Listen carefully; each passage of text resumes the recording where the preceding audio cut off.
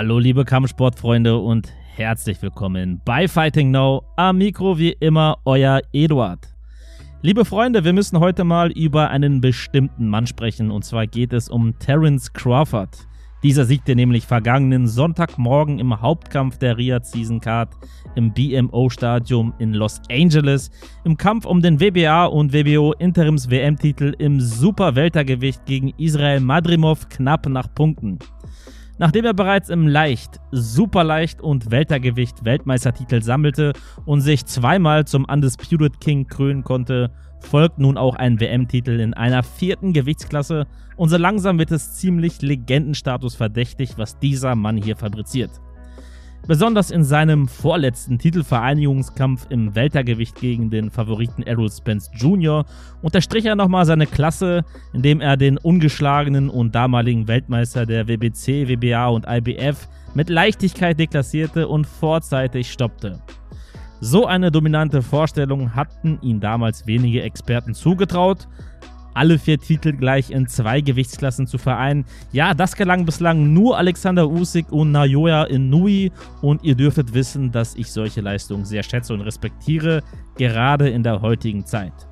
Crawford ist nun 41 zu 0 mit 31 Knockouts. Er ist technisch unheimlich gut entwickelt, hat ein sehr hohes Ring-IQ boxt in beiden Auslagen sehr stark, was ihn im Kampfverlauf sehr flexibel macht. Er besitzt über Knockout-Power ein starkes Kämpferherz. Seine Kämpfer garantieren eigentlich immer Action. Das einzige Problem, er ist irgendwie schwierig vermarktbar. Klar, die Boxfans dürften ihn alle kennen, aber in der Vergangenheit war er nicht so der Publikumsmagnet wie zum Beispiel ein Canelo Alvarez oder Alexander Usyk. Seit 2016 musste Crawford nicht mehr über die Runden gehen, stoppte seine Rivalen seitdem immer vorzeitig, darunter Ex-Champions wie Kell Brook, Sean Porter und Errol Spence Jr., bis jetzt zum Kampf gegen Weltmeister Israel Madrimov. Der gebürtige Usbeke erwies sich als richtiger Härtetest für Crawford. Terence hatte stellenweise Probleme, seinen Rhythmus zu finden.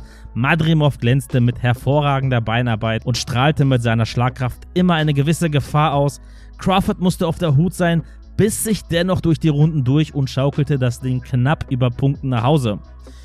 Ich bin mir sicher, dass einige Leute von euch, die den Kampf verfolgt haben, vielleicht Madrimov vorne gesehen haben. Wie gesagt, der Kampf war sehr eng. Schreibt mir noch gerne in die Kommentare, wen ihr vorne hattet. Meiner Meinung nach hat es für Crawford gereicht, gerade weil er in den letzten Runden nochmal aufgedreht hat. Es gibt zurzeit einige Boxstars, die zweifellos zur absoluten Elite im internationalen Boxsport gehören. Alexander Usyk, Canelo Alvarez, Inoue und Terence Crawford zählen beispielsweise zu den aktuellen Boxern im sogenannten Pound-for-Pound-Ranking. Alexander Usyk nehmen wir da mal vorweg. Er ist undisputed in der Königsklasse und die steht nun mal von der Rangordnung ohnehin über allen anderen Klassen. Aber Schwergewichtler werden eigentlich in Pound-for-Pound-Rankings gar nicht erst inkludiert. Das hat auch seine Gründe. Der Schwergewichtsweltmeister ist halt ohnehin the baddest man on the planet. Aber das ist auch nochmal ein anderes Thema. Meiner Meinung nach hat sich Terence Crawford langsam aber sicher vor allem mit seinen letzten Kämpfen an die Spitze dieser Rankings gemausert. Was dann bedeutet, er ist aktuell der beste Boxer, den wir abseits des Schwergewichts rumlaufen haben. Undisputed im Superleichtgewicht, Undisputed im Weltergewicht, dominiert einen Errol Spence Jr. mit Leichtigkeit, jetzt Weltmeister im Superweltergewicht und schlägt den wahrscheinlich stärksten Champion mit Madrimov in der Klasse. Das ist schon eine beachtliche Leistung. Er ist bis heute ungeschlagen, wird aufgrund seiner Errungenschaften auch häufig mit Floyd Mayweather verglichen, wobei er im Boxstil einen deutlich größeren Offensivdrang hat. Jetzt hat er die Möglichkeit, Geschichte zu schreiben und im Super-Weltergewicht auch noch alle vier Titel zu vereinen und damit in drei Klassen undisputed zu werden, was nicht gerade unwahrscheinlich wäre.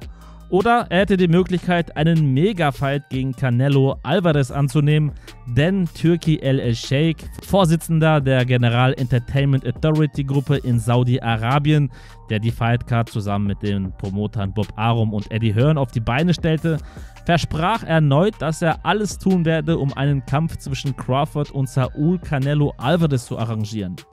Das wäre ein Mega-Fight mit einem hohen Risiko für Crawford, da Canelo aus dem Super-Mittelgewicht kommt und physisch einen klaren Vorteil hätte. Sollte er jedoch das gewinnen, gibt es für mich keine Frage mehr, wer die Nummer 1 im Boxen ist. Auch jetzt schon sehe ich Crawford ganz weit oben. Er ist irgendwie ein Name, der schnell mal übersehen wird oder von der Boxpresse nicht so viel Rampenlicht abbekommt, weil er einfach nicht die riesen Fanbase hinter sich hat. Vielleicht finden ihn auch einige Fans etwas unsympathisch. Ich persönlich finde, dass er ein genialer Mann im Ring ist. Ex-Promoter Bob Arum biss sich auch schon die Zähne an ihm aus. Er sagte sogar einst im Interview, dass er mit Crawford mehr Minus als Plus gemacht habe. Das ist schon eine harte Aussage. Aber sportlich kann man Crawford nur bewundern mit seinem Aufstieg aus dem Leichtgewicht bis ins Super-Weltergewicht. Vier Gewichtsklassen, immer noch ungeschlagen. Das ist eine starke Leistung. Und wer weiß, wo die Reise noch hingeht mit ihm. Vielleicht ja alle vier Titel im Super-Weltergewicht vereinen, vielleicht nochmal im Mittelgewicht angreifen oder halt im Super-Mittelgewicht Canelo Alvarez. Er hat jetzt viele Optionen und vor allem den Rückhalt von LL Shake. Der will nämlich Crawford nun in großen Kämpfen sehen und unterstützt ihm dabei. Das war es soweit von mir zu diesem Thema. Was ist eure Meinung? Wer ist der Pound for Pound King auf eurem Zettel? Ist es vielleicht doch Canelo Alvarez, Inui oder doch Lomachenko? Schreibt mir eure Meinung in die Kommentare, liked das Video, wenn es euch gefallen hat und abonniert den Kanal Fighting Now für noch mehr Content. Aktiviert die Glocke und damit bis zum nächsten Mal.